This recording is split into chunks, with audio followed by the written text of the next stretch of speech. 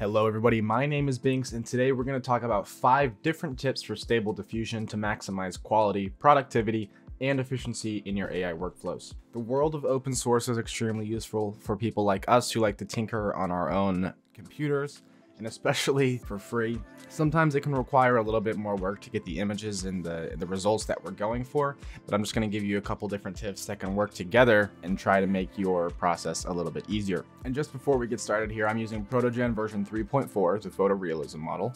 I have a prompt here. You can pause and type this in if you want. I also have the negative prompt from my negative prompt videos. Just link down in the description and up below if you're interested. Very short and very useful. I'm going to use the DPM++ SDE Karras sampling, sampler with 30 steps. I'm going to leave the width and the height at both 512, and I'm going to turn the config scale down a little bit to something like a 6.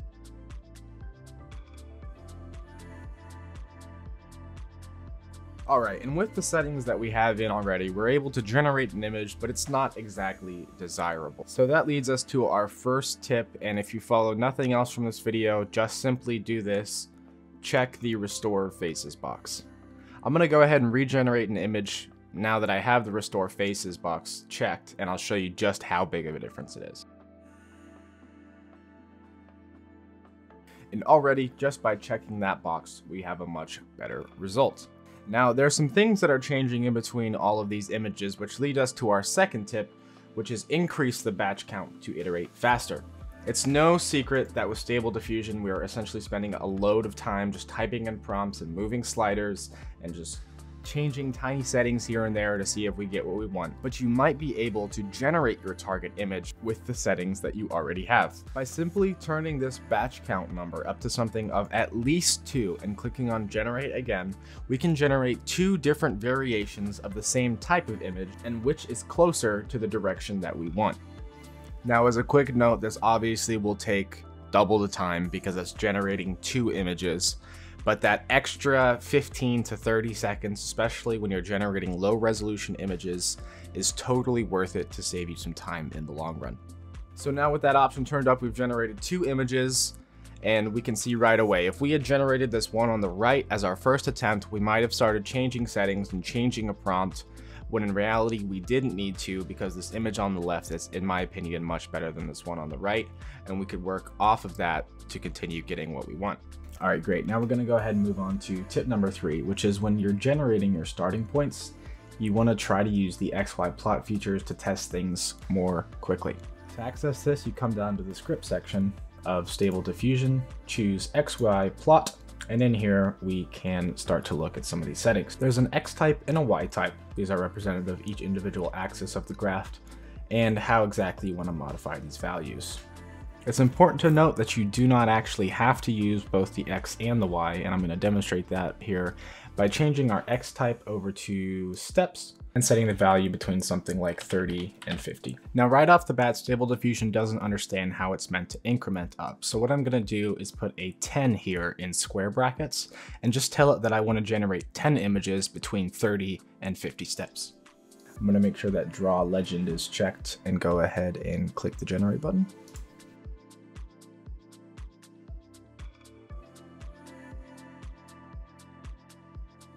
All right, and as you can see, as this is finished generating, we can see what exactly the step increase does. We put that number 10 in brackets, which means we have 10 images here that were generated, and they all range between 30 and 50 steps. On this particular sampler, some of the illustrations are actually kind of getting better towards the end as far as the facial structure goes, but most of these work well, and in fact, something like 30 or 32 works just fine for my liking.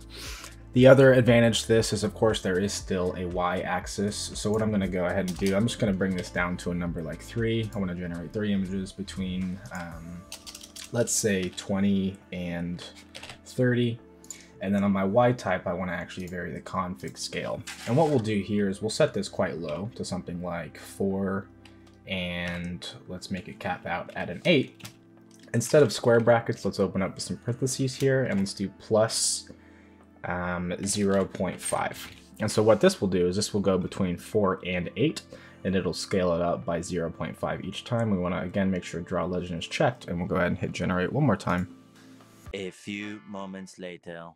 And actually, like earlier, it's important to note that when you go to generate this many images, it is going to take a significant amount of time depending on the hardware that you have. If you don't have really maxed out hardware, it's going to take longer than it would if you had a 4090 and a top of the line processor. What I'm actually going to do is change this between 6 and 8 and I'm only going to have it increase by one every time just to kind of speed this process up a little.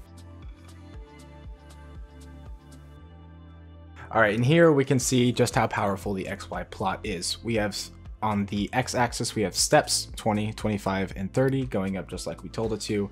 And then on the y-axis we have the config scale going from 6 to 7 and we have our images laid out in a nice grid so we can kind of see how the differences change.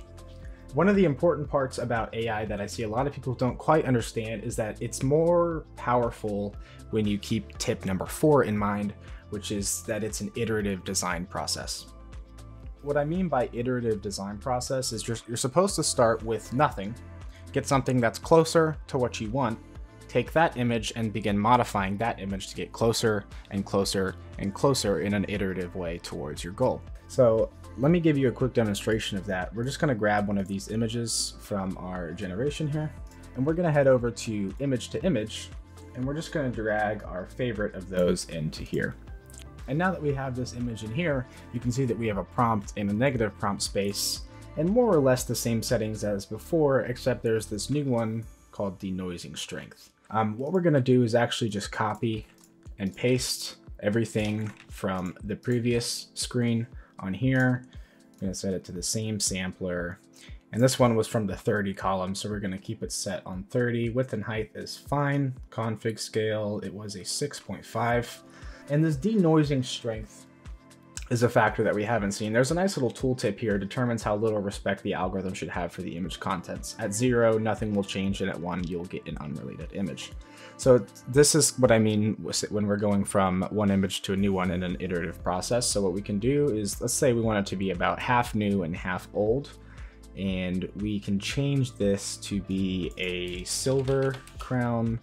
Let's do um, rubies as the stones. Let's get rid of medieval architecture. We'll say um, Victorian architecture.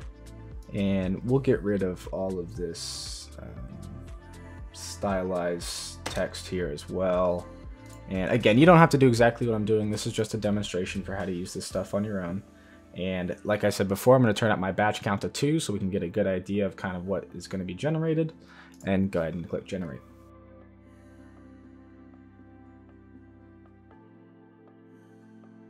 So as you can see in a kind of before and after here, um, the, the noising strength value there isn't doing well, and our config scale also isn't doing well. So when you move from text to image to image to image, a lot of these settings aren't going to be quite right for your application.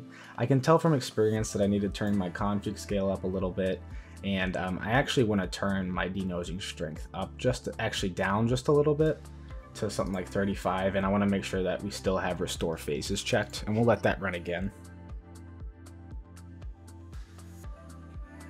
Okay, and as you can see, we have a much better result. So we're getting kind of a shift in the crown. It's not massive. The faces are a little bit different in between them, and as you can see, the background's changing. We want to give it a little bit more denoising strength and a little bit more freedom, and I'll demonstrate what that would look like.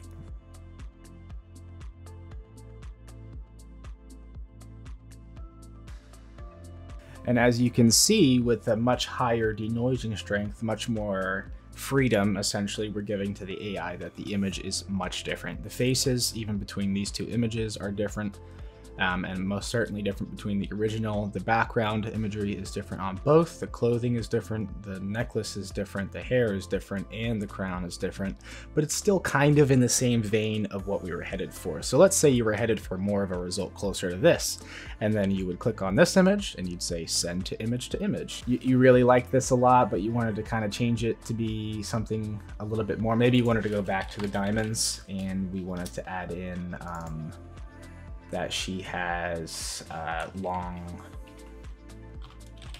eyelashes. Let's put that in. And then we'll give it the same amount of freedom and let it rip.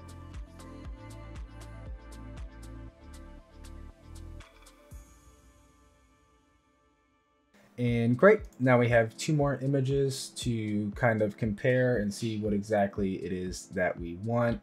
Um, I'm gonna go ahead and choose this one on the left here and we're going to send this to extras where we will talk about our final tip, tip number five, which is just simplify your upscaling.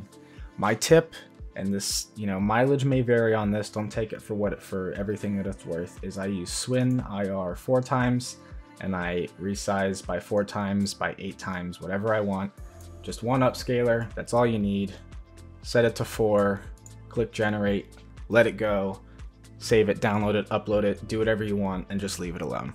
As you can see, we have a great upscale result there. This image isn't exactly perfect. I wouldn't release this anywhere, but just for example's sake, as you can see, the upscaling, it's much higher resolution than it was before.